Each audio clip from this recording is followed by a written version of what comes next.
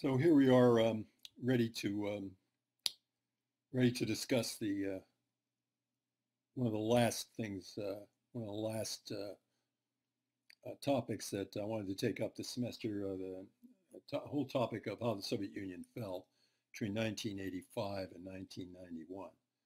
So uh, the real meat of our course is between 1917 and 1945, of course. I've already added some remarks, uh, which you should have seen by this time, on um, um, the Soviet Union and the Cold War and how it thought about the past, the whole problem of de-Stalinization, relation with the Chinese, the discussion of the question of Stalin uh, between Mao and Khrushchev and uh, related matters.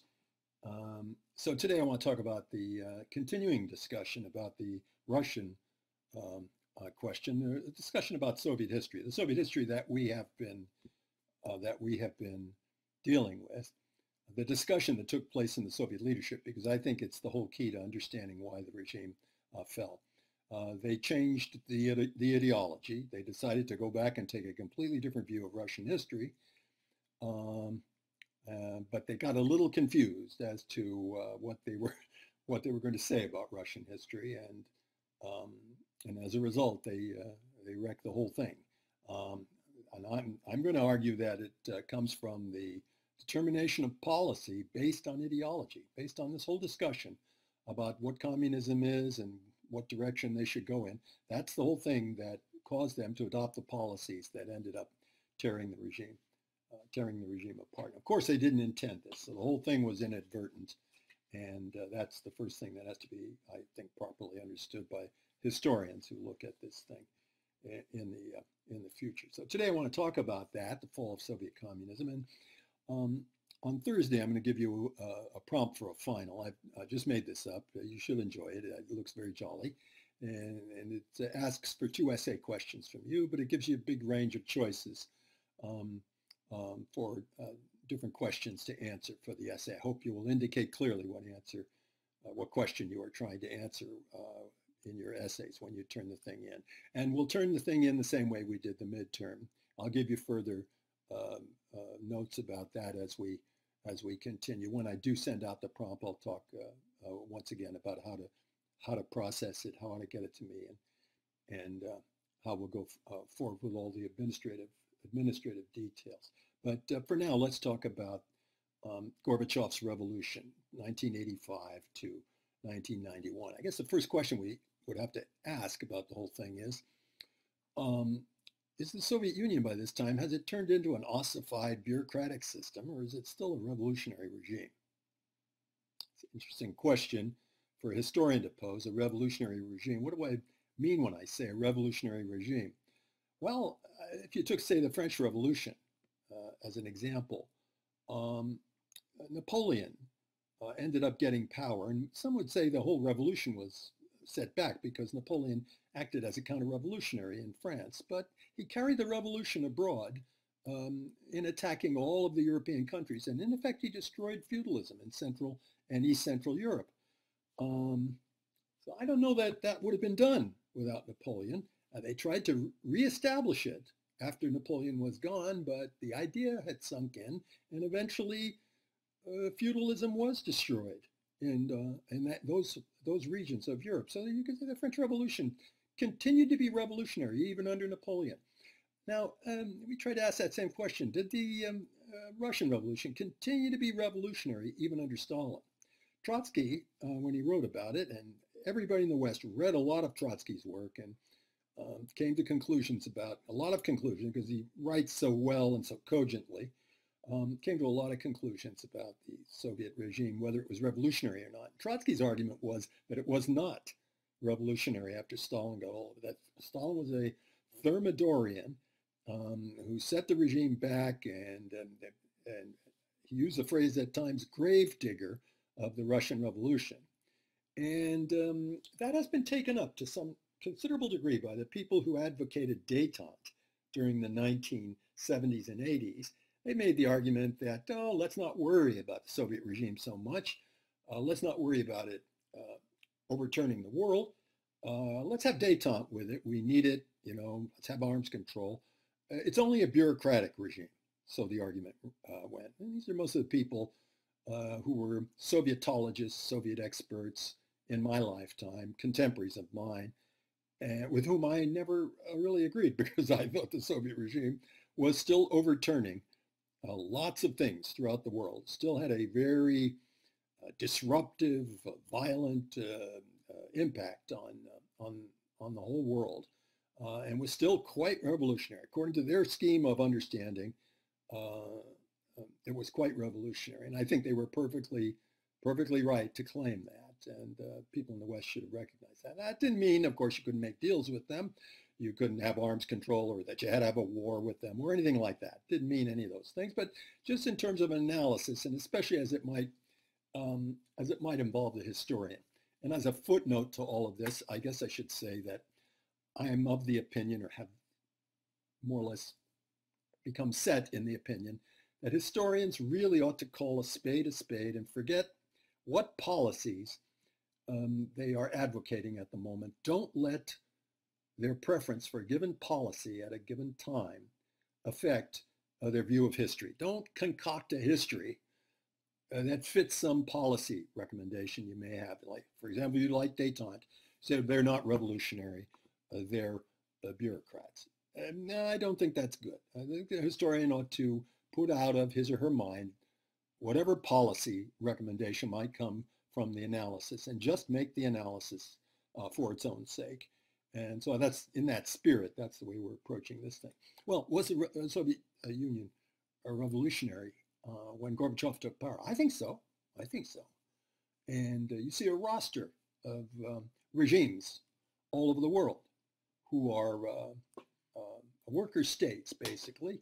And um, they are um, they are marching under the banner of communism, and they say it's the communism that is advocated in the Soviet Union. The Soviet Union is a brother communist regime. They look, in effect, to the Soviet Union for guidance. So here's a map, been searching around for a decent map for this.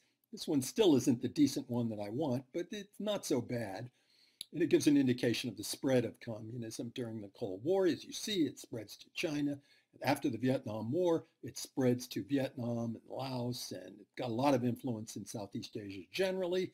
Uh, turned back in Indonesia in 1965 by this vast massacre that uh, over a million communists um, by the Suharto regime. Uh, but in other places it gains ground, gains ground certainly in Africa. You see the Portuguese colonies in southern Africa here. You see Ethiopia, uh, Somalia. Uh, they're calling themselves worker states, communist regimes looking to Moscow in various ways. Uh, that doesn't uh, prevent a considerable complication. Two communist states, uh, Somalia and Ethiopia, were doing battle at the end of the 70s. so these communist states can be hostile one to the other. And we also have to note, and I think we have noted, that the uh, Chinese are quite hostile to the Russians um, during this period. They're both communists. So the spread of communism does not mean that all the communist states get along. Why is that? Because it's a question of power. They get power over states. States have in, in, interests of their own. So they don't necessarily act as a uh, kind of a, in a way that uh, would indicate that the ideology determines everything. They've still got to worry about the fact that they are in control of a state. Um, so that really is the fundamental understanding that everybody who analyzes the Soviet Union, I think, ought to have in mind uh, as they go forward, um, and, and, which isn't always the case. Hasn't always been the case with uh, pundits and experts who've dealt with this topic. Okay, um, so they advance in Southeast Asia, they advance in Africa, they advance in Cuba. This map doesn't show the advance in Nicaragua. There's a communist regime in Nicaragua by 1979. Um, and they have uh, certain other influences in various other places. And I've left aside the whole question of regimes that call themselves socialist. There are quite a number of them with a lot of nationalized property. Algeria, for example, practically all nationalized. Uh, they call themselves a kind of socialist regime.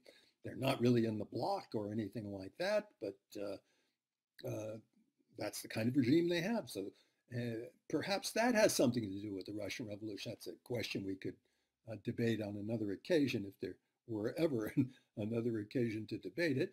And so when we talk about the spread of communism throughout the world, uh, we're kind of um, distinguishing that from this equal spread of socialism, I think you could say.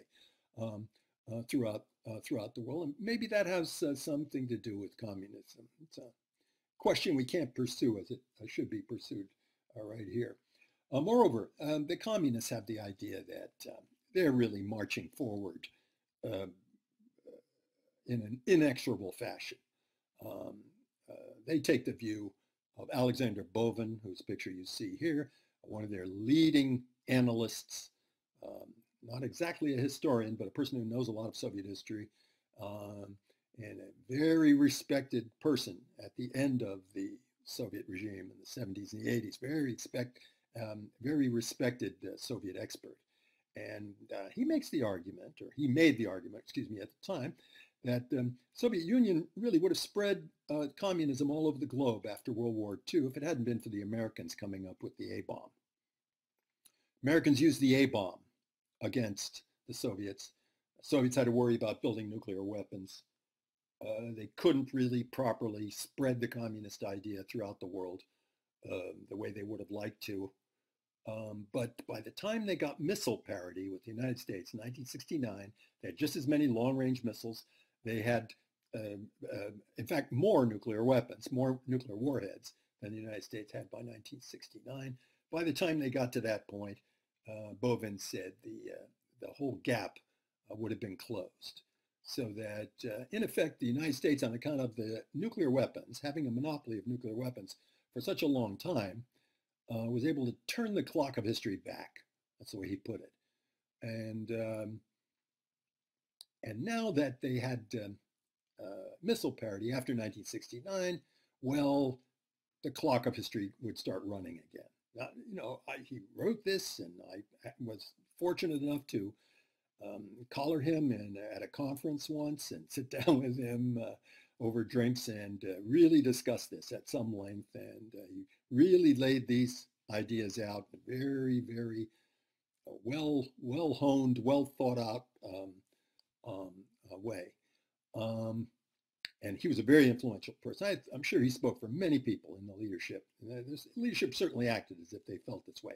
Very, very confident that the communist idea had basically, after all its difficulties, won the Cold War. Won the Cold War, or at any rate was way ahead in the Cold War. And um, in fact, I would say that the people who argued that the Soviet Union fell because the Soviet Union, they knew that it wouldn't work or they knew it was collapsing or the cause was failing or you, that's where you hear it now uh, from most um, people who write on the topic. I think that's idea, that idea is all wet.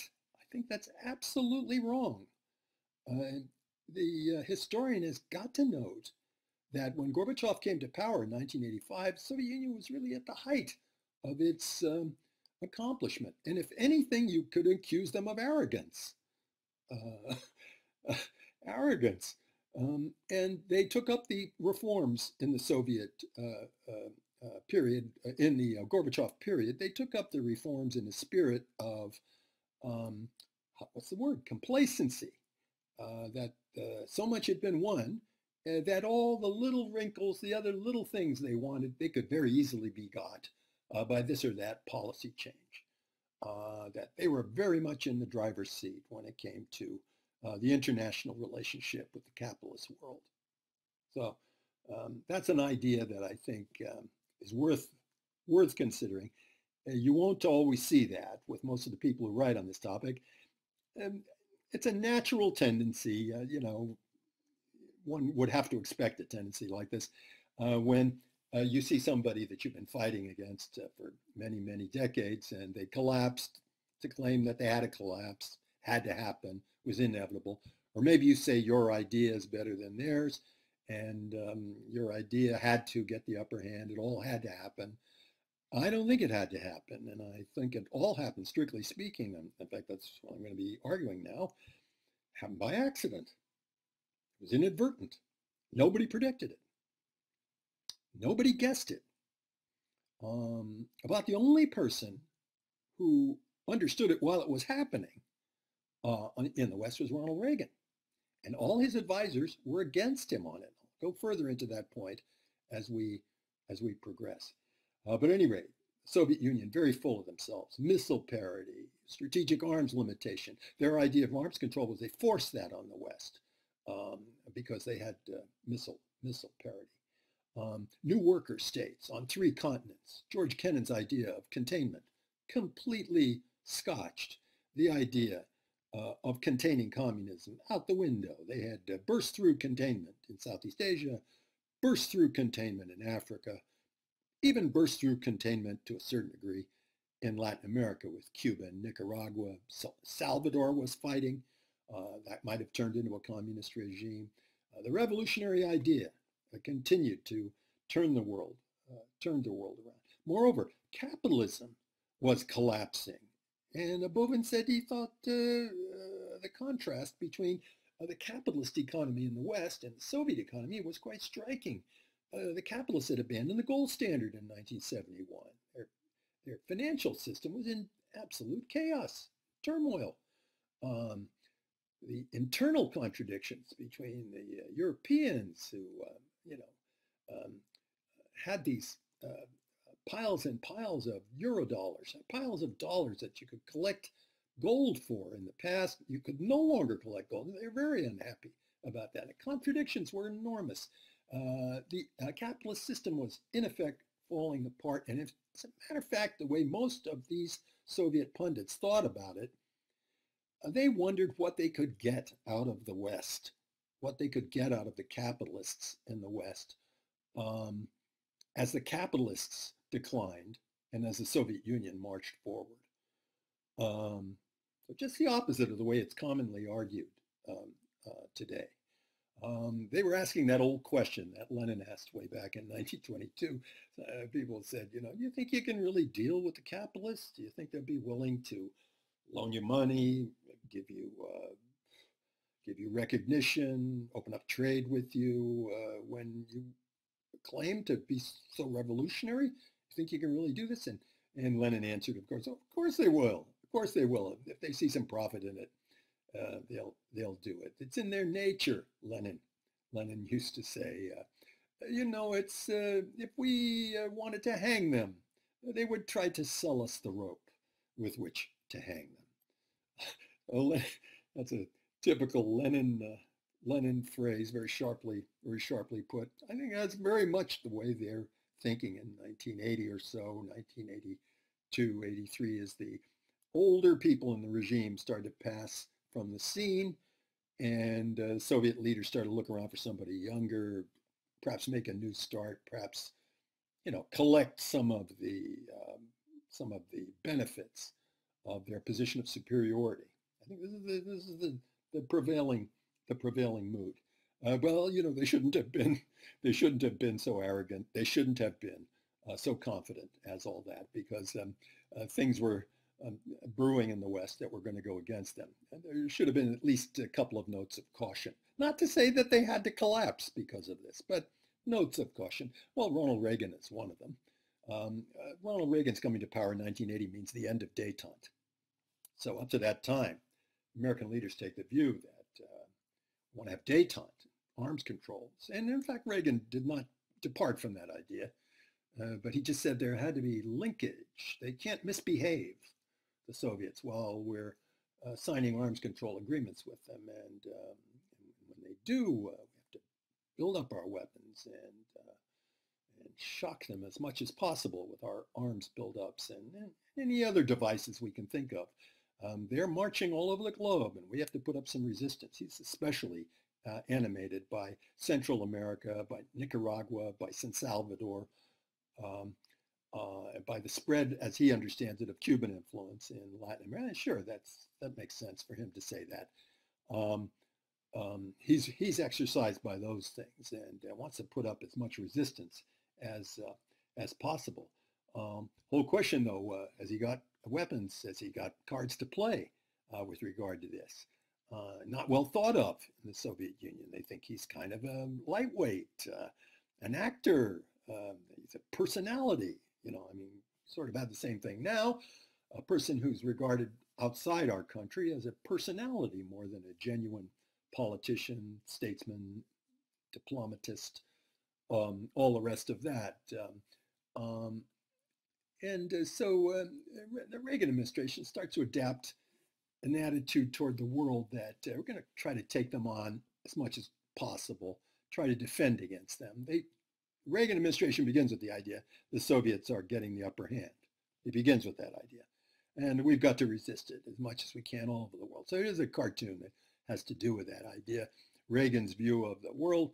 A lot of people in the United States criticized Reagan for uh, being too up in arms about the whole process. You know, this this is a point that they have that, you know, Reagan might not have been so worried about everything. The Soviets did make some gains, but these were not the kind of gains that were going to really overthrow the American system or overthrow any big country in Europe or uh, there were only gains that were going to be made in this or that country. I mean, maybe they'd affect somebody's bottom line, but no fundamental threat to American national interest uh, by the expansion of Soviet communism. And the way the communists quarrel with one another, you could practically see there were going to be opportunities and many opportunities already with the Chinese, for example, um, for action against the Soviets uh, together with communist regime. But anyhow, Reagan didn't see it that way. He thought they were up against the Soviet Union all over the all over the globe.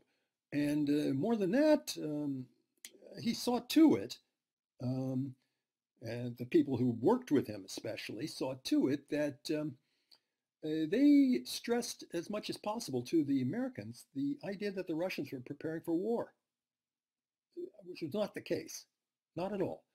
Uh, you could say this was a kind of hoodwinking uh, of the American public that took place.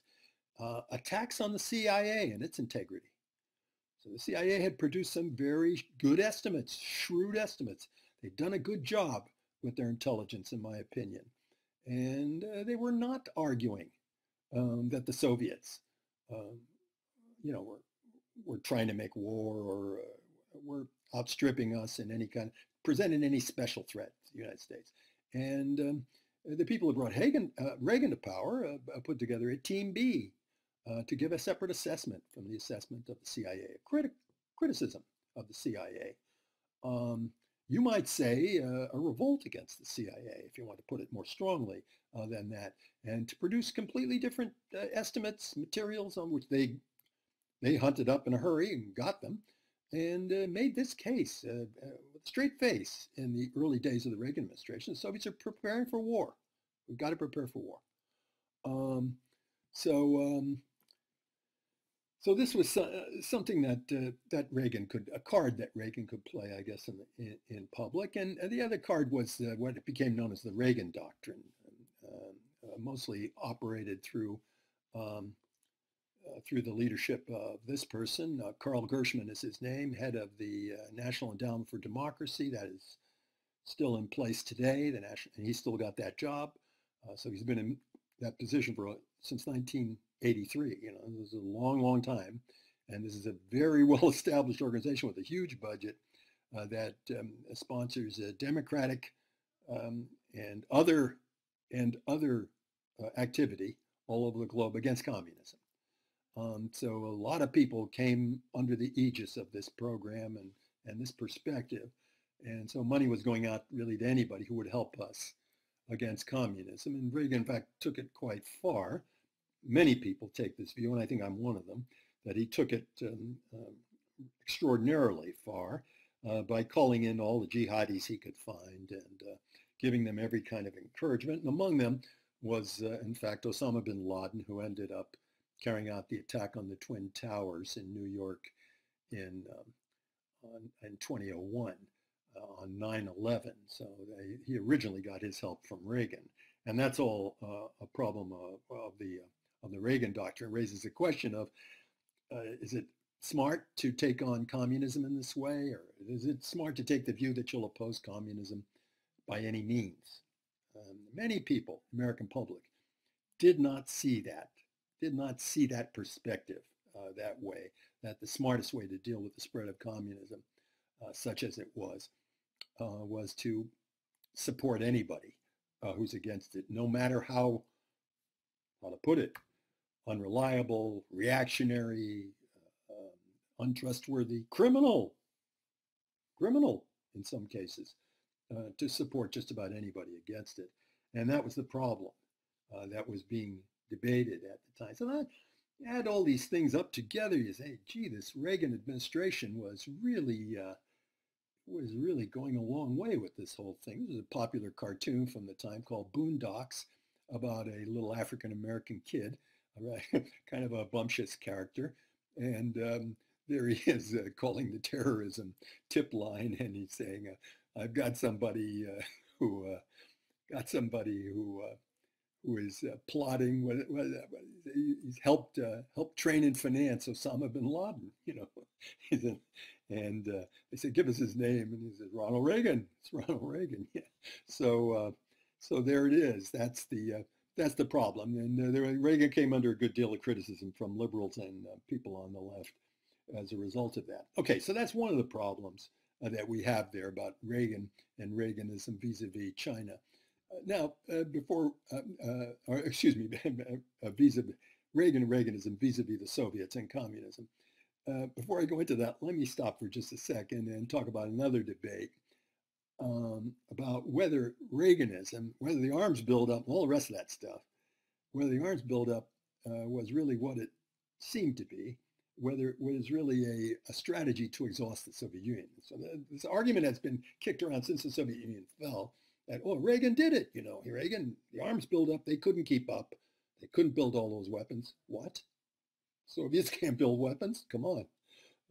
but anyhow, that's the way the thing was argued. Oh, they couldn't keep up with all these weapons that Reagan was building and blah, blah, blah, blah, blah. And that had a huge impact. Well, huge impact. Yes, well, it had an impact, but huge, I'm not, I'm not so sure. I'm not convinced that, uh, at all by that. I think the historians will look over this in the future. Not going to be convinced by that at all when they look at the evidence. And they might even entertain a, I would like to suggest a hypothesis that they might entertain as an alternate, the idea that uh, the United States was taking a lot of big losses from communism uh, geopolitically. It was losing various countries in various places. And countries around them were taking note of that and uh, so it all looked kind of bad. Capitalism was not in great shape during that period. There were uh, tremendous uh, crises as a result of the oil shocks, the uh, you know quadrupling of the oil price in 1973, and the economies of the West were kind of a big mess uh, during that period. And then moreover, you had the Shah of Iran and oh, a lot of things were, uh, were going uh, awry. The Shah of Iran was overthrown by the Khomeini revolution in 1979. Maybe with all these things happening, that um, all the actions that the Reagan administration took against the Soviets, uh, maybe they represented not so much an exhaustion strategy, but a kind of an alibi. Anyway, that's what I thought as these things unfolded, that uh, it's entirely thinkable. In fact, it's the most uh, uh, the most compelling thought that uh, Reagan had to cover himself, taking all these presumed losses that are in the newspapers, that are in the headlines, taking all these losses, and uh, it was kind of an alibi to say that we're going to build weapons. It's a motif of the Cold War after uh, the U.S. Uh, had so much trouble subduing um, the North Koreans in Korea, uh, the United States immediately went to uh, um, uh, building weapons.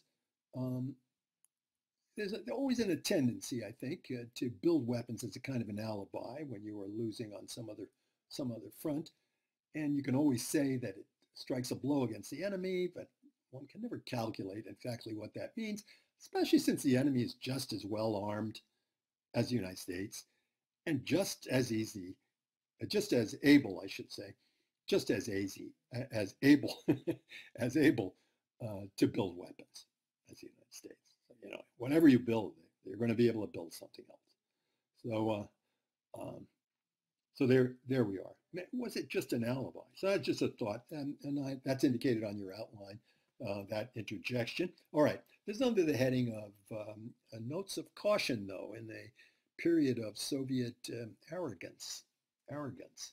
Uh, first note of caution is uh, the end of detente with the United States with the onset of the uh, Reagan administration. What's the second note? Second note is China.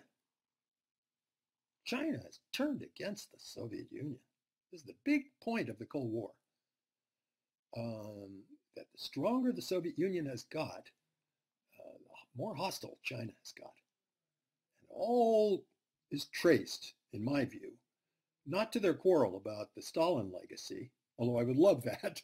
It, um, that's something that makes history at the uh, puts history at the center of things. Um, I would love to say that, but I don't think I can. Uh, it's not uh, on account of the, the, their differences of opinion about the Stalin legacy. It's about the Soviet refusal to give the Chinese nuclear weapons help in 1958.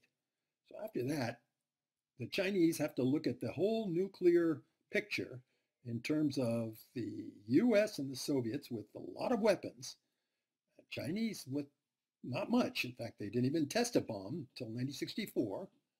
Okay. Uh, and if the US and the Soviets come to terms over China, that's no good. As uh, my uncle Luigi would have said, that's no good.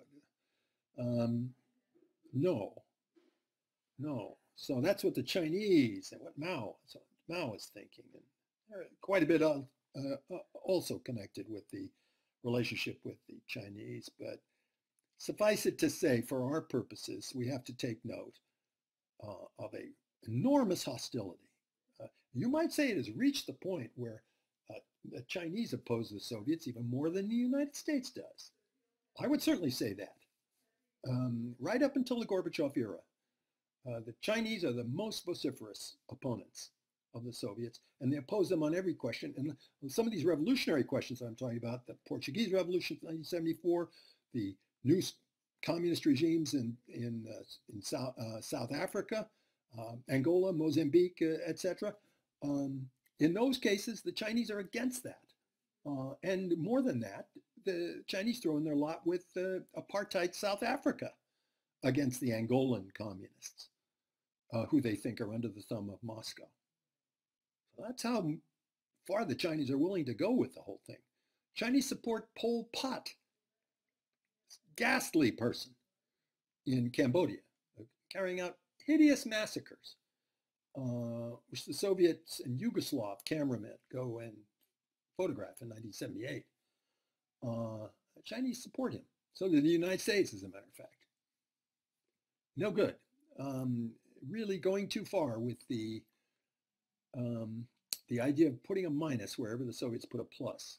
Not always the best way to oppose, criticize, um, differ with them, um, oppose them politically. Oppose them politically, if you want to think of it that way. Not always the best way to do that. Um, but at any rate, the communist China, I think uh, one might even say is the greatest enemy. So there are two notes of caution then in this ambitious uh, picture uh, that we've noted. But I think we have to say on the whole, or at any rate I would say on the whole, that there's a grand historical uh, contradiction, a dilemma in the communist idea at this point. It's not what most people think it is. Most people, you know, defender of the capitalist system in the West, says well, because socialism doesn't work, communists are socialists. That very fairly straightforward, easy interpretation for a person like that. Uh, but I think there's a contradiction nevertheless. And the contradiction is that all our victories are in the third world. They're not in the main metropolitan centers that are capitalistically developed in the Marxist sense. Communists don't get any victories there. And no proletarian revolutions the way you would hope. As I've said before, I think I'm alone in saying this, but I will continue to do so. Uh, the communist idea uh, moves according to war communism, not according to proletarian revolution in the West. That's the contradiction. They're never going to win in a big advanced country. Uh, they got close with Portugal in 1974 and might have spread into Europe, but didn't happen. And they are winning in the third world. They are winning in, um, how to put it, economically backward countries. They are winning in these places. Is this a strategy for winning against capitalism? What are you going to do? Surround them uh, in the world hinterland, the countryside? Surround the advanced metropolitan center? Is that Marxism, by the way? Marxism doesn't say that. Uh, but the Chinese have said that at various times. During the Cultural Revolution in the 60s, Lin Biao, the army man that you see on Mao's right here, he made the argument that the whole hinterland of the world was going to turn communist and they were going to squeeze and strangle uh, the more advanced uh, economies. Uh, opposite of Marxism, in my opinion. Karl Marx would really have gagged on this thought, it strikes me. Um, not to say it wasn't a revolutionary thought, it, it was certainly revolutionary, but um, not in the Marxist, uh, not in the Marxist way of looking at things. But that was Lin Biao's view. Well, in a way, it kind of sharpens up the idea. Suppose the communism did develop that way. Is that uh, is that a road that's going to go anywhere? Uh, you know, all backward countries. And, and what goes with this is, if they gain power, they're not going to become big economic colossi. Angola, Mozambique, you know, uh, Laos, Vietnam, they're not going to be a big economic power.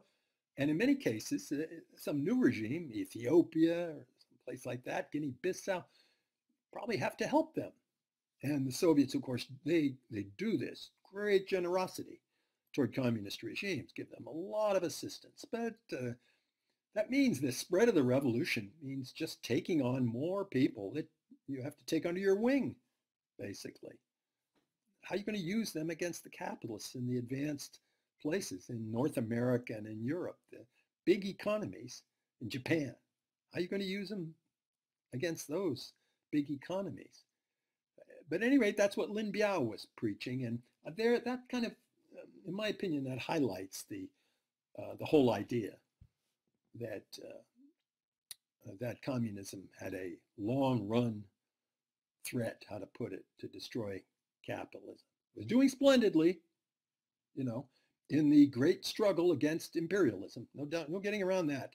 It's the biggest influence, in my opinion, in destroying British, French, um, uh, Dutch, Portuguese imperialism. Biggest, the biggest influence in doing that. But um, whether it's going to win the whole contest with capitalism on a world historical scale, that's the dilemma. Um, that probably is not going to go. That, anyway, that's my thought on the uh, on the matter. Um, I guess there are a couple of other ideas associated with that that most people don't pay any attention to, but I insist. One is the problem of the intelligentsia. So in a regime like, uh, say, Russia or China comes to power, real Marxists are going to say, well, it's a proletarian dictatorship. What, is it, uh, what does it amount to? And uh, they have to admit, if they really get down to it, they have to admit that the proletarian dictatorship amounts to um, a rule, a rule of the intelligentsia. In fact, that's what socialism would be. The intelligentsia would more or less rule. Um, uh, technical people, scientists, engineers, you sort of see that now. The people who are saying the only way out of this enormous problem we have with the plague on the one hand and the destruction of the earth uh, by through global warming on the other. The only way we have out of this is a pretty strong state or a stronger state than we've known, dedicated to the public interest rather than to the market, um, in which the scientists and the engineers kind of tell us, hey, let's not destroy the planet. There are limits to uh, the fun that can be had making money. Um, there it is. That's the dilemma. The intelligentsia is up. And so then you start to ask yourself, what does the intelligentsia want? And uh, more pointedly, what does the intelligentsia want in a backward country that's communist? Hmm. What do they want? As it turns out, the answer that history is giving us is that maybe they want capitalism. Hmm. Would this be the case if Russia and China were highly developed, would they want capitalism? I don't know about that. Maybe not. Who knows? But during the period we're talking about, they're both kind of rather still backward. I mean, they're, they're getting very sophisticated when it comes to weapons, but they're still rather backward generally the Marxist, in the Marxist uh, sense. And they're all Marxists. So this is the problem. What to do about the, the intelligentsia? You still find it in a country like Cuba, for example. Uh, I visited Cuba a couple of years ago, I was driven around by some guy who was an MD, a doctor, driving a cab. So what's up with that? I asked him. And he said, oh, well, we have to uh, have to get uh, CUCs, you know, these uh, hard dollars um, that tourists have to spend when they go to Cuba. Uh, have to get these things, I have to get this money. It means that your standard of living is going to be a little better. So, you know, what is that? The aspiration under communism of the intelligentsia to better better themselves, you know, better. You say everybody feels this way under communism, capitalism, anywhere. Everybody wants to feel, you know, do better. Um, of course. Um, but how about the intelligentsia after it reaches a certain point? Um, are they going to make a market choice? What can a capital, what can a communist regime do to offer them uh, something else other than simply being capitalists? Um, and it strikes me that there are only a few things. Um, cultural advance, that sort of thing. Um, make them more prominent, give them more um, recognition, um, and the rest of that. So those are dilemmas of the communist regimes that will continue to be uh, as long as there are communist regimes. They'll have to think about how to make the intelligentsia happy under communism, how to give them more of a sense they're running things and all the rest of the rest of that. Then the other question that emerges with that is, is that connected to the idea of democracy? These communist regimes do not um, uh, do not measure up uh, according to Western standards of democracy. Now you could say we are under a lot of illusions about our democracy. We think it's more democratic than it really is. Um, and maybe we overestimate what democracy can produce for us in changing our lives, making things better, etc. And maybe we're we wonder about the idea that under democracy we can have such enormous differences in the economic situation of people, such insane equality, uh, which gets worse all the time under democracy. This makes no sense. Um, so democracy has its problems, not to not to deny any of the problems. But nobody wants to go without democracy. I doubt if any of you, maybe there are some of you, but I mean, I doubt if any of you take the view that uh, to hell with democracy. No, no. We all we all know that uh, maybe it's the worst system, but it's better than all the others. That's a kind of a paraphrase of a, a remark of Winston Churchill. Um, it's a terrible system, but it's better than all the others. Um, but uh, how about the communist regimes? Uh, what does democracy mean to them? And uh, the most important thing, under the circumstances of the history they've all been through, which we've been studying in this course, what happens when you introduce democracy and ask the people, now that you've been through all this history, what do you want? Are they prepared to make a decision there? Uh, does it, uh, and what kind of decision is going to be? Going to decide against the regime?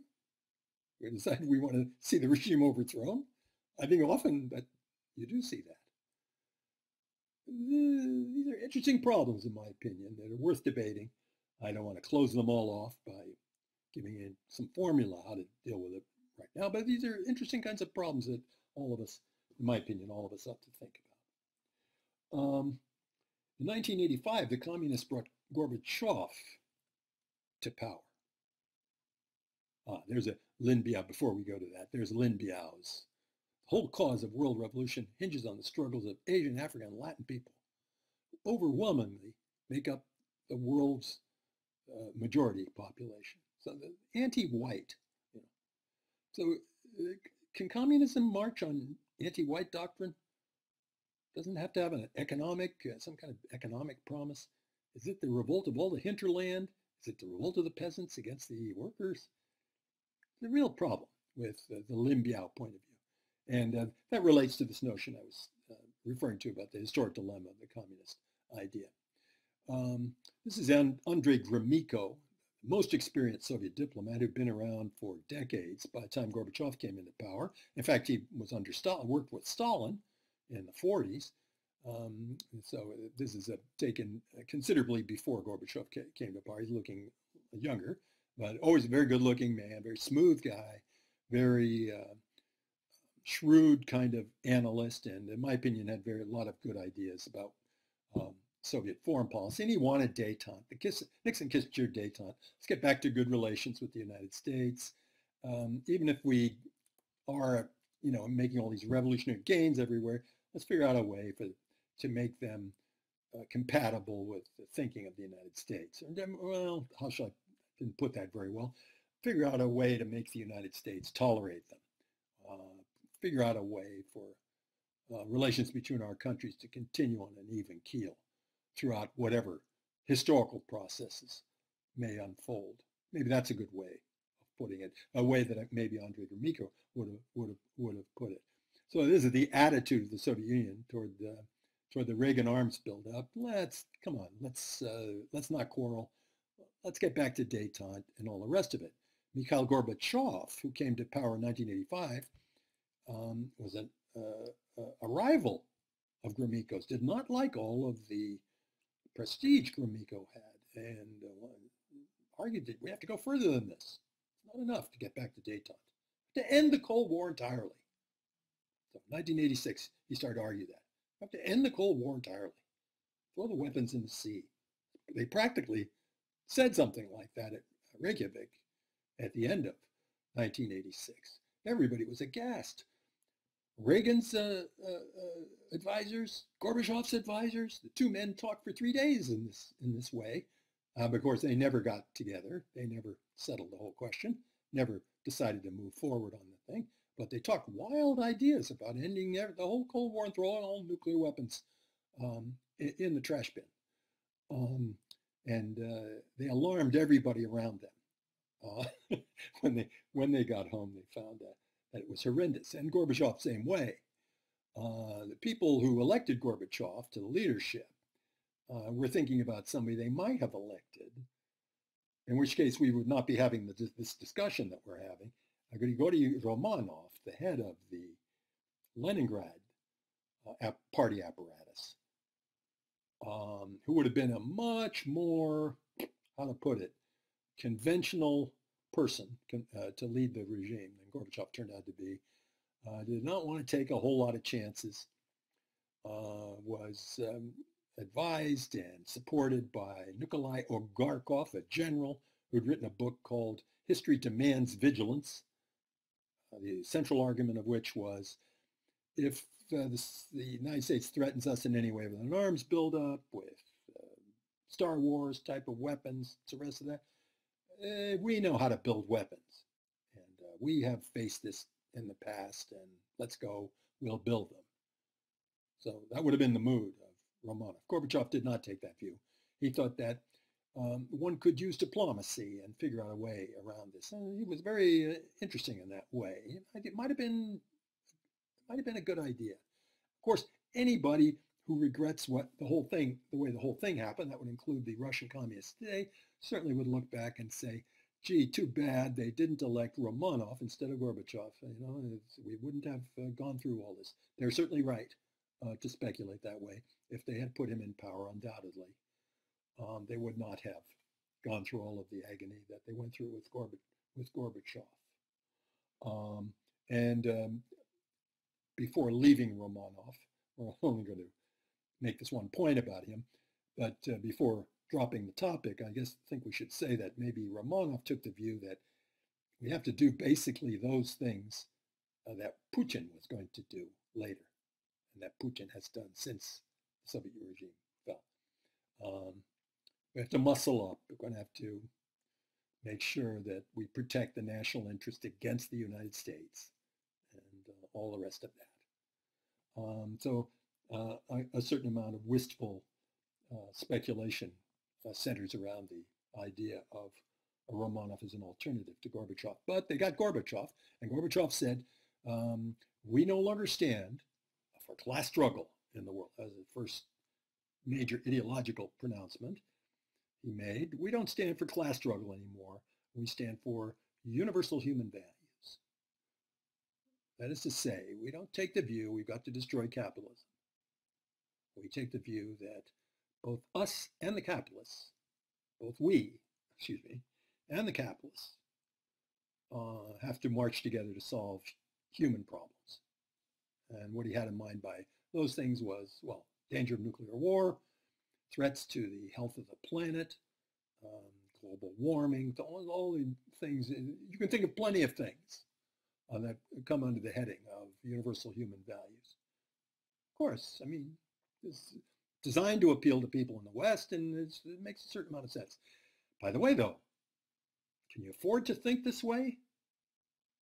Is this kind of naive? If you really believe that you're going to act in terms of universal human values and not worry about your own state, whether it's going to survive? Or let me put it a different way. Are you going to take the view that you're going to let your state suffer because of universal human values? You might get into trouble doing that. It's a cruel world out there. So there's a problem. Uh, in the leadership then, from this point on, people who quarreled with uh, Gorbachev, thought he was going too fast, or thought he was naive, thought he was going to get had uh, by the imperialists. That's the way they would have put it. People who did make that argument would say that we still stand for class struggle. Gorbachev has abandoned class struggle, and he now goes for universal human values. That was the uh, the watchword, if you will, to identify which faction uh, you were with. You could ask somebody uh, about that. You could you would know which faction, whether they were pro Gorbachev or or against, uh, by asking them that that question. Um, these universal human values, um, they, they were manifest in the attitude toward, toward the United States. So Gorbachev said, let's, let's get back to arms control. And he did with Reagan. They ended up starting to do some really very dramatic, uh, dramatic things. Um, and Reagan, you have to say, was rather a convert to Gorbachev. This is not normally recognized by Reagan historians. They don't appreciate Reagan, strictly, strictly speaking. They think, or at any rate, they want to make it out that Reagan drove a hard bargain against the Soviets and drove them out of business because he was a tough guy. Mm, that certainly would have fit his general profile, but once Gorbachev came on the scene, he took the view that Gorbachev's turn back to Lenin was a terrific thing. Well, they conducted a number of arms control agreements. After one meeting in 1988, after they had uh, signed the Intermediate Nuclear Forces Agreement, uh, which ended um, the whole problem of the, their, their uh, Euro missiles, their forces in Europe, um, ranged against each other, as a big step in arms control not arms control, disarmament uh, that they took. Uh, that's you know the, the, totals came down. Arms control, you're regula- regulating how how how the totals will go up. Well, any, at any rate, after this um, discussion, with, uh, he was led around the Kremlin. They took him to a place outside the Kremlin wall where the Tsar cannon is. This is a silly old cannon that uh, Peter the Great built. And uh, it has these stupid cannonballs there all piled up, presumably going to hurl a projectile like the thing was never fired. It was a big joke. The, um, the Tsars took the view that, you know, invite, a, invite some foreign diplomat in and to show them the cannon, they'll be impressed. That's the whole idea of the thing. It was kind of an amusing idea, the Tsar cannon. So he took um, Reagan around the Tsar cannon and um, he asked him in front of reporters, do you still think the Soviet Union is a, uh, is a evil empire? And uh, Reagan said, well, maybe not. Maybe it's not wow. And then Gorbachev, Gorbachev said, look at that. He said, this just goes to show what the ancient Greeks always said, that uh, things always change. You can't throw a stone in the same river twice. Things always change. This man used to call us the evil empire. Now he says, no, we're not. Gorbachev was perfectly right, in my opinion, to crow about that. He had won Reagan over, won him as a, won the public opinion of the world. Public opinion of the world was crazy about him. They liked him better than Reagan. Um, and uh, what did it mean exactly when Reagan said that they were not the evil empire anymore? Reagan was asked about this when he came back to the United States. He said, so?" He's changing?" And Lenin said, "Well," and uh, Reagan said, "Well, they're going back to Lenin." he said, um, you know, it's not a Stalin regime. It's a Lenin regime. And, you know, Lenin's a little, from our point of view, Lenin is more, is better for us. Um, and he, Reagan, of course, made mention of the new economic policy of the 20s. You, you will know all about that, where others might not know, but you will know all about the new economic policy. It was a kind of a semi-capitalist regime. And that's true. They were thinking in those terms, and Reagan was perfectly right. Reagan had it sized up. Good analysis. Good analysis, in my opinion. They were thinking about that period. Uh, but the Washington Post jumped all over him. And uh, a lot of critics in the United States, people all around him. Henry Kissinger. They were all, what are you talking about? Lenin's just as bad as Stalin. They were committed to this idea. Lenin's just as bad as Stalin. It's when you say Stalin, you say Lenin. It's the same thing. Um, but Reagan said no, no, no. He would not change his mind about that. He said, in effect, I mean, he didn't quite lay it out, but in effect, the message was the Lenin regime, that's a regime that's uh, much more easy to get on with. Or at any rate, it's more easy for us to deal with this regime that's going back to Lenin. We want to promote this idea of going back to Lenin. I got to say, I'm not exactly a great fan of Ronald Reagan, but uh, this was very shrewd on his part, and I think uh, doesn't get proper appreciation for this. Good analysis. It's exactly what they were thinking about the Soviet Union, so it's good Kremlinology too. Uh, they were thinking about get back to Lenin. But when they say get back to Lenin, what do they mean? Now, we know Lenin preceded Stalin, but we're thinking about the other people in the 20s who might have had power if Stalin didn't. That is, say, alternatives to, to Stalin. What they were saying when they want to get back to Lenin is uh, uh, we took a wrong turn when we went with Stalin after Lenin died. Maybe somebody else would have been better. Who? Trotsky? Zinoviev? Bukharin? Ah, Bukharin. Exactly. And that was the view they ended up with in the Glasnost literature, in which free examination of the ideology of Soviet communism was permitted. wow! I know no regime has ever done this. Free examination of the ideology of the regime. And this is a regime that's based on ideology more than anything else. They were deciding their future every day in these columns that they wrote about the Soviet past. Who was the alternative? And the alternative, they said, was Bukharin. Let, a Leninist regime according to Bukharin, the Bukharin alternative, they ended up saying. This is pretty much Gorbachev's perspective. It's a the uh, title of a book, or, uh, or I should say the theme of a book, uh, by Stephen Cohen, who right now is a kind of defender of Russia. And the, the book, I should have a picture of the book. There, oh, there. Oh, there's the book. I already showed it. Um, that's Steve Cohen's biography of, of Bukharin. Um, and in, the, in, that book, he says Bukharin was the alternative to Stalin. By the way, I don't agree with this, the history of this. Uh, aided and abetted Stalin in various ways, muddied up the ideology, created uh, essentially a lot of the ideas on which Stalinism grew. But the mythology about Bukharin was he was a right-wing, moderate alternative to Stalin. Wrong, in my opinion. Okay? I think it's bad history. But as policy, it is the suggestion that we can go back, we Soviets can go back and we can have an NEP kind of regime that say we can admit capitalism under certain limits. Uh, we can have a moderate attitude toward the West. Uh, you remember Bukharin was very pro-China, uh, pro-French, pro-British, um, favorable to the West. So, so the the history is bad history, but the policy that comes out of it uh, might be attractive to a lot of people in the West. It certainly was attractive to Gorbachev, and that's really the ideological tack that they were going to march under from this point on. Reagan was right to say that they went back to Lenin. Um, and Steve Cohen, of course, there he is with his wife, Katrina vanden Heuvel. She's the editor of The Nation. Most of his articles these days appear in The Nation, and he generally argues against, you know, uh, stupid policies against Russia, like, you know, arming arming people against them. um, and wants wants to get back to uh, more sensible policies toward Russia. I agree with him about most things. Um, um, but people in the leadership didn't like this turn toward Bukharinism and all this stuff and started to criticize, criticize Gorbachev.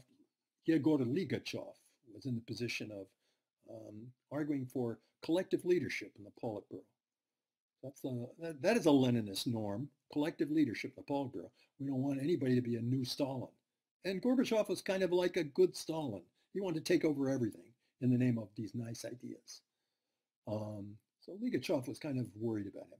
Ligachev got a very bad press in the West. They made it out that he was a Stalinist and all the rest of that. I guess maybe he was to a degree, but um, basically all he wanted was a little slower, a little more measured reform. Gee, that's all he wanted. But Gorbachev didn't want that at all. Anybody who opposes the leader, anybody who even slows him down, uh, is immediately a threat to get rid of him. They could have a Politburo meeting any day and get rid of Gorbachev.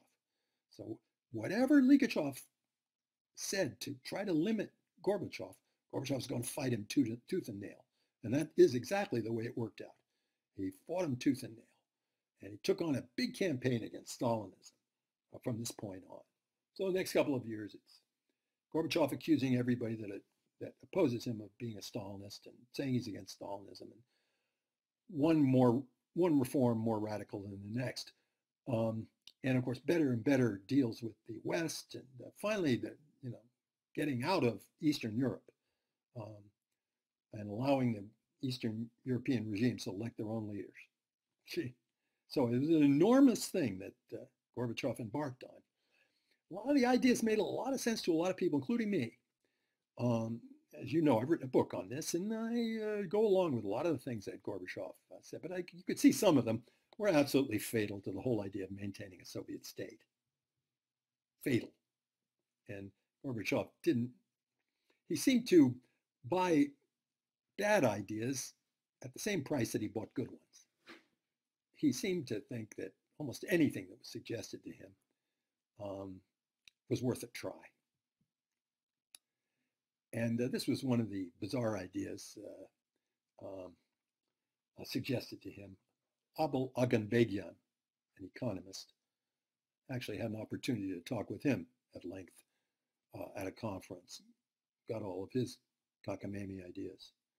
Um, he said the uh, the party ought to get out of the economy. He wrote a book about it. Said that in perestroika, that is the reconstruction of the regime, the party ought to leave the economy to run by itself. What? They'd never done that since the beginning of the regime. You could see that would produce chaos, and it did. As a matter of fact, the regime was not in trouble economically up to this point.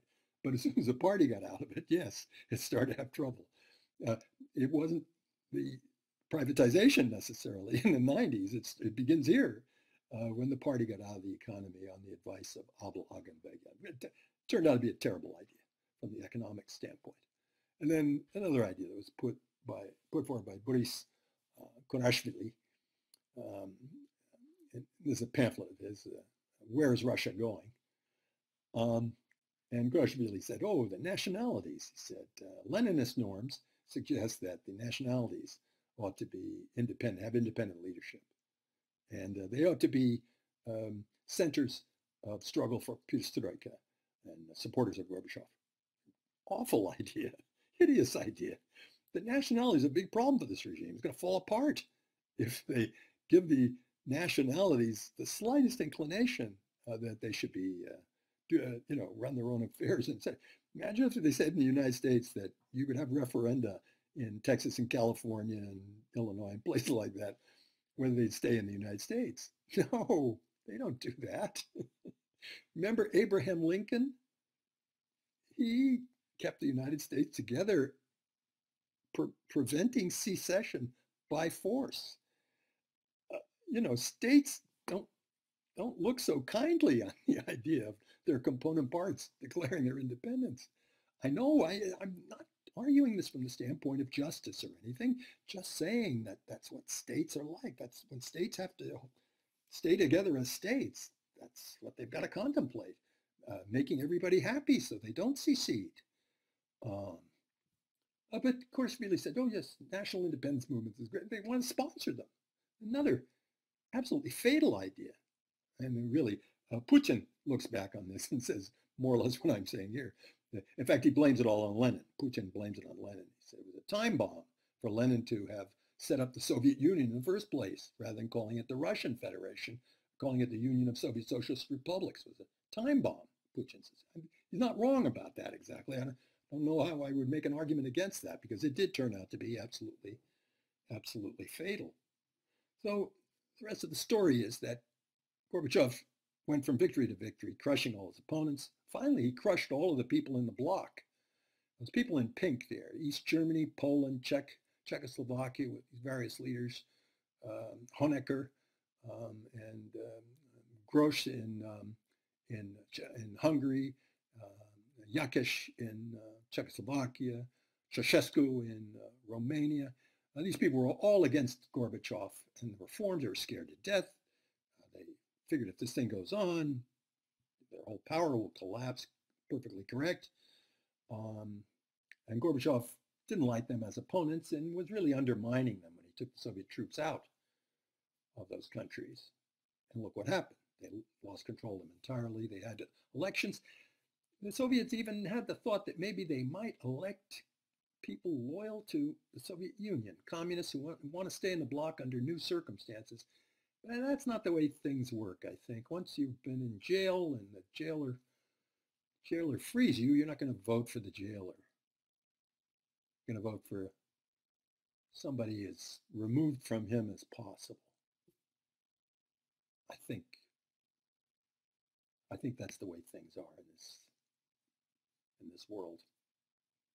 So anyhow, they lost the whole block in 1989. Gorbachev won a great victory, but they won a, but they lost the uh, they lost the bloc, and uh, it goes on from there when uh, he almost did the same thing with the Soviet Union. He was going to allow it to fall apart, and which it did. Uh, but uh, some people in the party tried to stop, made a very ineffectual attempt at a coup in July of 1991. Boris Yeltsin stood up uh, on the tank and uh, defied, and the, the coup people didn't have what it took to arrest Yeltsin, so it was not much of a coup. And, uh, and they finally brought Gorbachev back, but by the time Gorbachev was brought back, Yeltsin was in charge. They had made some calls to the to the generals. They finally did this when the regime fell in December 1989. The phone calls decided the fall of the regime. Who was the army loyal to? And the army people said, "Oh, I think we're loyal, more loyal to Yeltsin than we are to Gorbachev, um, because he's got a democratic mandate as president of Russia." And Russia CC, um, succeeds the Soviet Union. Well, we have passed by these enormous events and not really explicated them the way really deserve to be, but I don't know if you can do that in a in a lecture format of such a straightened form as we as we have here. But anyhow, I think these are the these are the high points of the uh, of the story. Um, this cartoon says the whole story of Gorbachev destroying the Soviet Union, you just do one thing and uh, before you know it, uh, sets in motion as a natural motion, dominoes, you know, natural motion, and it ends in the destruction of the Soviet Union. Wrong. I disagree with this cartoonist. Challenge him to a duel. Um, this is wrong. He didn't just start something rolling that inexorably ended in the destruction of the Soviet Union. He pushed every domino over, did Gorbachev. And um, this cartoon, uh, which uh, says that uh, all of his predecessors and leaders of the Marxist and communist idea all wanted him to go a different way, and he wanted to go some other way. Um, and the um, the caption is uh, Vorwärtsgenossen, uh, um, forward comrades, forward. They have completely different views of the man. Well, that's the way it looks, and that's the way more or less turned out, but that isn't right either. Um, Gorbachev thought of himself as a Marxist the whole way. He thought he was saving the Soviet Union. Sorry, but that's a fact. Thought he was saving the Soviet Union the whole way. So this, I think this cartoon's all wet too. um, does not really does not really express the thing. Difficult thing to express. What is democracy? How does a regime that is not democratic, how does it become democratic? What's involved in that? Well, I don't know. I haven't got an answer to that. It's a difficult question, big question. But I, I can't say one thing in, in closing about this, that whatever things a regime does to make itself more democratic, and they can be very considerable, I think. Many reforms were possible. Uh, one cannot overlook power. One cannot say that the health of the state, the health of the nation, the national interest is secondary to the struggle for democracy. Can't do that. The condition for democracy is that there be a state. You cannot have democracy out in the woods. So the whole question of democracy, in the end, has to be subordinate uh, to the question of the maintenance of the state, the maintenance of. It doesn't mean it has to be maintained in the most grinding, reactionary, or traditional way. Many, many changes are possible. The imagination um, would point out many, many alternatives, uh, but they would all have to be compatible with continue. It's like saying, can we save the family if we destroy the family? No. Can you save the state if you destroy it? What, I, what kind of democracy does democracy mean a weak state? Not necessarily. They're very strong states that are democratic. So these are big questions. And um, they're big questions the Soviet Union failed to, failed to uh, solve. Soviet communism failed to solve them. Um, and then uh, we don't exactly face them in the same way, but we do face the same, same kinds of questions. And that's the way, that's the way we have to leave this subject. So uh, next time I will um, speak a little bit about the Putin regime and uh, whether we can get along with Putin or why we can't if we can't. Um, and on Thursday, I will um, I will send you a final. So stay strong and talk to you soon.